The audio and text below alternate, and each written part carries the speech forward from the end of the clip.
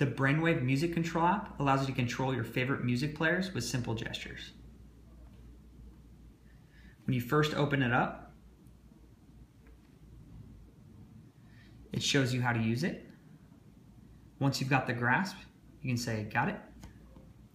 And it automatically uploads all of your favorite music players, so you can choose your favorite one to listen to. We go with Google Play Music. It currently works in landscape mode. An open right hand plays.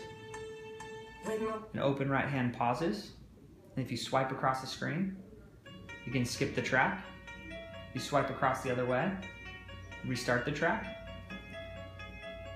It also works with the screen off.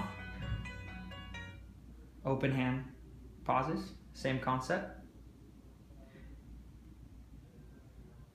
Now to get out of the app, you simply swipe down and you tap on the Brainwave Active to disable gestures.